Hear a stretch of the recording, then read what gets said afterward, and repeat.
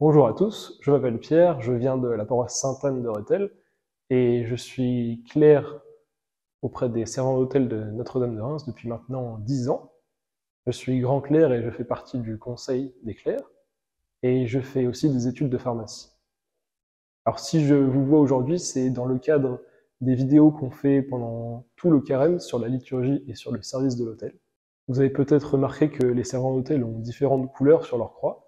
Ces croix, elles ne sont pas une récompense ou un grade, mais elles indiquent des responsabilités et un niveau de compétence qu'on a au sein des clercs et qu'on acquiert au fur et à mesure de notre service.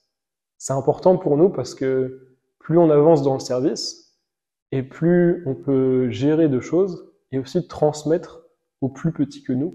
Sur ces croix, on retrouve un médaillon en métal avec les lettres CNDR qui signifie clair de Notre-Dame de Reims. Et au milieu de ce médaillon, on peut voir la Vierge Marie qui représente la Vierge de la Visitation et qui est visible sur la cathédrale au niveau du portail principal, pas très loin de la porte.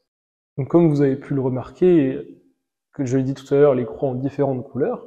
On commence avec la croix de bois de Claire Novice, Ensuite, on a la croix bleue de Claire Servant, puis la croix verte de Claire Acolyte.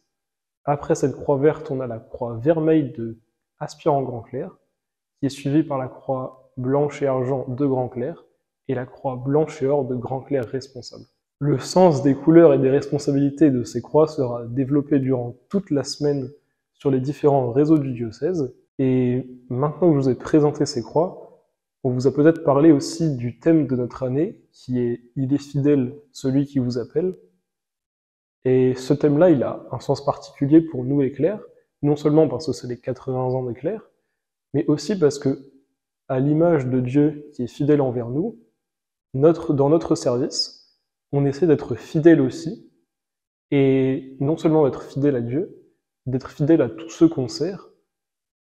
Par exemple, les, toutes les personnes qui viennent à la messe, par notre service, on essaye d'être fidèle à ces, gens-là. Et en transmettant nos savoirs et nos compétences aux plus petits, on perpétue aussi cette tradition et ça fait aussi partie de notre engagement. On profite pour faire une petite annonce, c'est que le 3 septembre à 11h à la cathédrale, on aura une messe pour euh, célébrer ces 80 ans d'éclair. Et donc on invite tout le monde à nous rejoindre. Euh, vraiment, venez tous si vous pouvez et euh, ça va être génial.